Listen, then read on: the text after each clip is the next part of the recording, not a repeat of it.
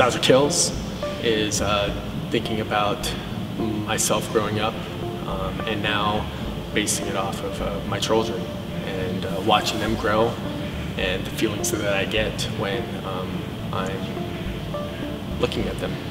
Why do they inspire me? Um, well, just being with them every day and just seeing them, um, how they're growing and, and, watching what they see through their eyes and, and all the little things that they pick up and enjoy. And it's weird being a parent. You just kind of enjoy watching everything that they do. And um, yeah, it just inspires you to be more like them, innocent and uh, cool, calm, and collective. This painting is my children, and it started out as kind of like a bike race. And um, when I painted it, I had two kids. I painted a third child, not knowing that I had another one coming. And I must have painted him into an existence because now I have three. And um, this guy is loosely based off of my wife and I. Uh, there's a, uh, a great Sturgill Simpson song, and he says that God is a fisherman. And so this is kind of like this being creating another being coming into existence. And just kind of cruising along and enjoying life.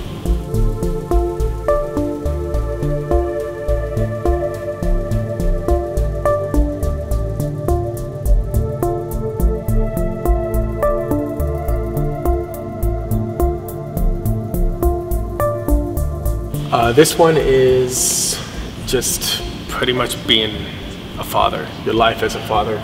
Um, you get the chaos of, of life and you got all the food around him. Um, and him, my, my son is into baseball and so playing baseball and, and uh, the injury that may come from sports and life and this guy is getting knocked, his skeleton's getting knocked out of him.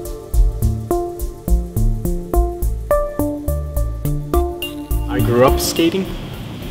Uh, my, my son is now into skateboarding. Um, and this represents me, more or less, this, this being holding my son and slowly letting go of him and his abilities of being able to do his things on his own in his life. Skateboarding was a big part of my life growing up, and hopefully uh, it'll be a good part of his life.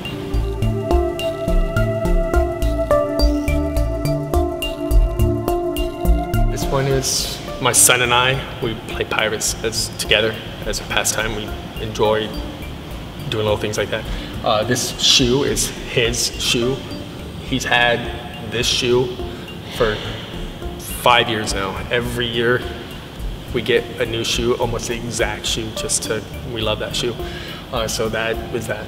Uh, the coral, um, we live near the ocean and we're always at the beach daily, more or less in the summertime, definitely daily.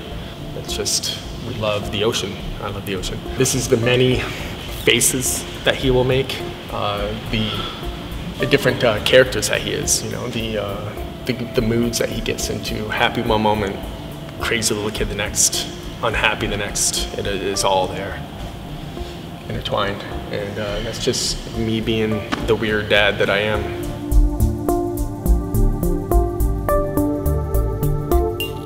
This is based off of every day trying to get my son to brush his teeth and letting him know that he's gonna get a sugar bug if he doesn't.